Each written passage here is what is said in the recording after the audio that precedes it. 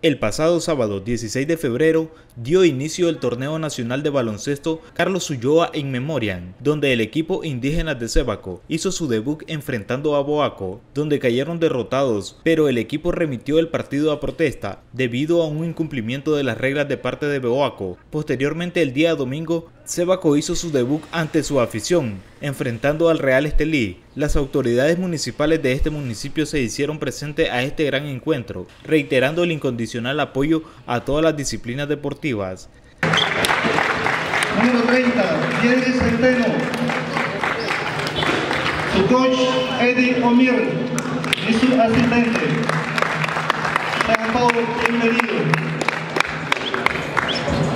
Le damos, felicitamos a la barra que está el día de hoy.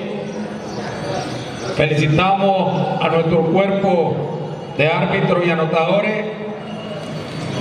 Felicitamos al organizador o a los organizadores de este gran evento nacional.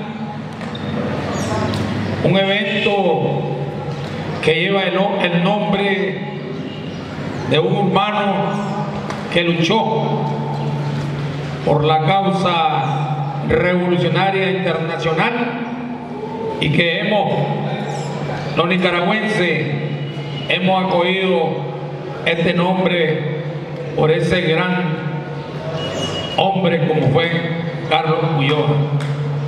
Le damos la bienvenida al equipo Real Estelís, a sus directores, a sus representantes, a su barra y felicitamos a nuestro equipo indígena de Cebaco porque sabemos que vamos a hacer un buen papel en este gran evento nacional porque tenemos la fe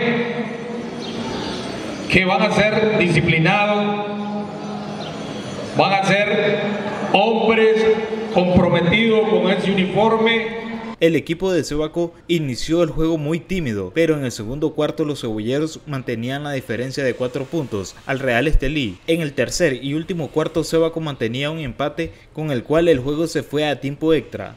En tiempo extra, el juego fue muy parejo, pero la victoria se la llevó los actuales campeones centroamericanos Real Estelí, con un marcador final de 75 a 71. El técnico y el capitán de los indígenas de Cebaco hablaron para nuestras cámaras. Hoy fue un gran partido, nadie se esperaba esto, porque Estelí es el mejor de, de, Nicaragua por ahora, y fue un buen partido, fue un tiempo extra y pues Mal, mal, que no se pudo dar, pero fue un buen partido. Pero la gente que estuvo nos apoyó hasta el final, no importaba qué, nos apoyaron hasta el final. Entre más gente salga y apoyarnos, más será, más será el apoyo hacia nosotros y más alegres estaríamos nosotros. Así que les digo que salgan y vengan a apoyarnos porque pueden preguntarle a cualquiera, nuestro equipo tiene potencial. Estoy súper orgulloso de los muchachos. Desgraciadamente por X y el problema hemos entrenado muy poco somos hasta ahorita, creo yo, que ni en la profesional le sacaron al Estelí un, juego en un, tiempo extra. Perdimos apenas por 4, ellos vienen de ganar por 48 puntos a Tititá, un equipo fuerte en tabla. Y la verdad pues este, nunca esperé, nunca esperé que llegaran a pasar ciertos errores arbitrales pues, pero al final simplemente se perdió el partido. Pasó casi lo de, lo de Boato, con un gran equipo. El factor sol, allá la temperatura nos, nos ahogó, literalmente. Perdieron porque también perdieron algunas oportunidades. Son balones sueltos, son cosas que se dan, pero inmediatamente los muchachos, como todos pudieron verlo, recuperaron. Hubieron bastantes etapas en defensa, balones robados, cuando hubieron balones sueltos de parte de ellos ellos están dándolo todo, dieron el corazón ahí. Y, o sea, no me siento mal por ellos, no me siento mal, me siento orgulloso.